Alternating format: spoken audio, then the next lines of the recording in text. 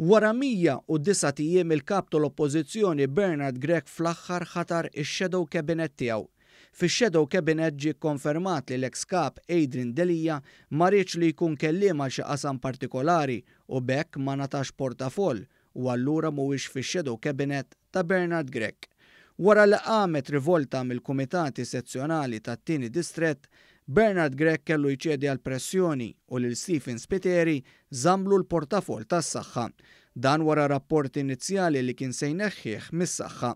L-istess kellu jiġri b'Robert Arrigo li fil-bidu bagħat għalih u neħħielu t-Turiżmu, iżda, eventwalment, Bernard Grech kellu jċedi u jżommlu l-portafoll tat-Turiżmu Biex b'hekk ma jidhirx ikrah u iebes mad-deputat tal-fazzjoni Delia u Viċi Kap.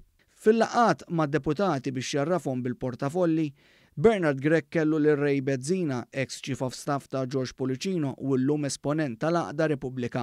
Bezzina kien fil-laqgħat anki fuq insistenza ta' Louis Galea. Jirriżulta li l-għaqda Repubblika kellha t-timbru tagħha fl-għażliet tax-Shadow Cabinet ta' Bernard Grech. Fil-fatt, ħu l-President tal-għaqda Repubblika, Karol Aquilina, tpoġġa kelliem għall-Ġustizzja flok Jason Azzopardi li ġie mfiehem lilu li ma jistax jibqa' kelliem għal dan il-qasam peress li huwa avukat f'każijiet prominenti fil-pajjiż. Imkejjen fid-Dar Ċentrali qalulna li lil Jason Azzopardi qalulu li għandu kunflitt ta' interess Iżda, Bernard Grech ma ra l-ebda kunflitt ta' interess li ħu l-President tal-Għaqda Repubblika jkun Kelliem għall-Ġustizzja. L-istess imkejjen qalulna li min-naħa l-oħra lil Jason Azzopardi ingħatalu settur li xorta jista' jibqa' jagħmel il-ħsara fuqu barra minn Malta u jgħid kontra l-pajjiż.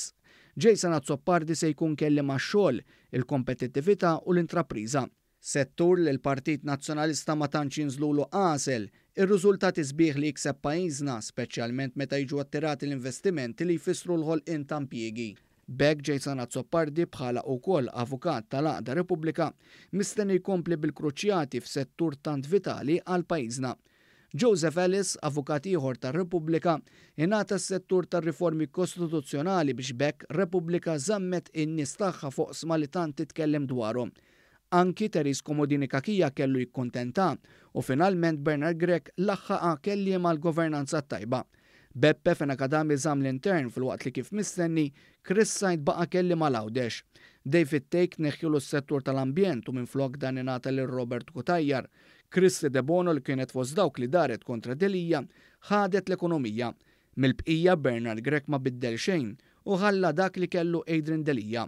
Fil-fatt kienu madwar ħames deputati biss li kellhom l-irwol tagħhom mibdul.